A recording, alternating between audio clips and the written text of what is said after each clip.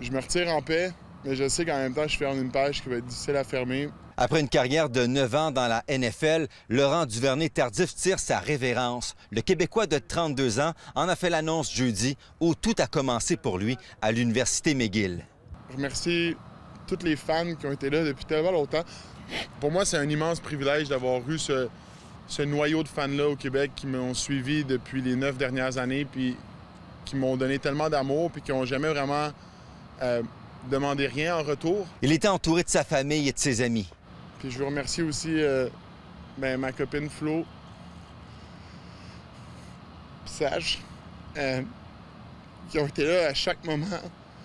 J'habitais dans un 3,5 avec Flo sur Atwater puis Sherbrooke, puis il y avait Sage dans le cadre de porte qui nous disait comment on allait se rendre dans la NFL.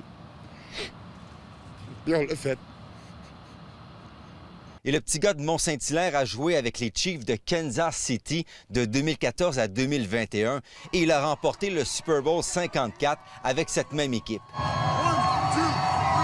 Je me rappelle qu'on tirait de l'arrière puis que euh, tout le monde sur notre banc savait qu'on allait gagner.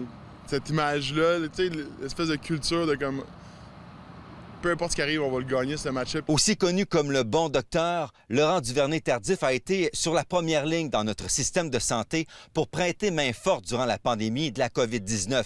Il est fier de son parcours académique. D'avoir un peu fait fi de tout- tous les gens qui m'ont dit qu'il fallait que je choisisse, puis de l'avoir fait. Puis, puis ce premier match-là, quand j'ai eu mon diplôme en médecine, puis j'ai couru dans le tunnel, puis qu'ils m'ont présenté comme étant Dr. Duvernay-Tardif, on dirait que pour moi, ça a été un symbole assez puissant. L'ancien numéro 76 ne veut pas se lancer en politique. Il a déjà plusieurs projets à venir. Faut, faut que je focus sur les boulangeries. là. Il y a beaucoup de croissants à rouler, puis... euh, non, mais blague à part, on a, euh, on a des beaux projets qui s'en viennent euh, avec ma fondation. Laurent Duvernay-Tardif sera moins souvent sur les projecteurs. En plus de sa fondation pour la réussite scolaire, il doit terminer sa résidence à l'hôpital juif de Montréal. Il lui reste 18 mois. Kevin Crank Desmarais, TVA Nouvelle, Montréal.